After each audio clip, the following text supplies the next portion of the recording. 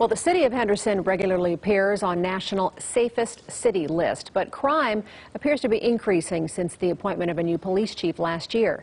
8 News Now reporter Kristen Drummond sits down with the new leader of the department about the latest data and the community impact.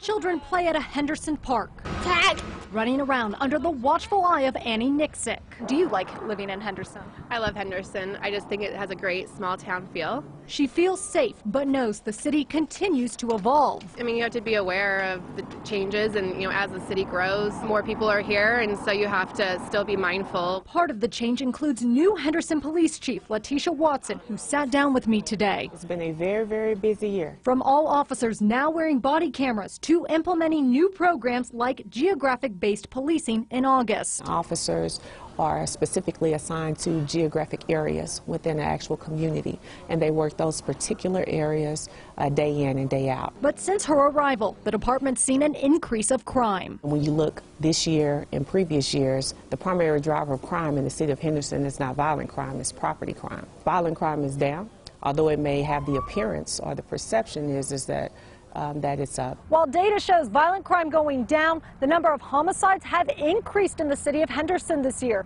Chief Watson says majority of those are domestic related. And those within someone's home is something that any organization is not going to be able to prevent. Despite her efforts, Henderson resident Joseph Lankowski is concerned about police shootings. Shots fired, shots fired. I don't know what kind of range she has over her officers because there's been three officer involved shootings already this year. But she plans to prevail and keep Henderson a place to call home for future generations.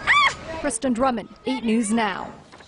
We can also tell you that Chief Watson says data next year will likely show the impact from her decisions, including geographic policing and community-oriented policing.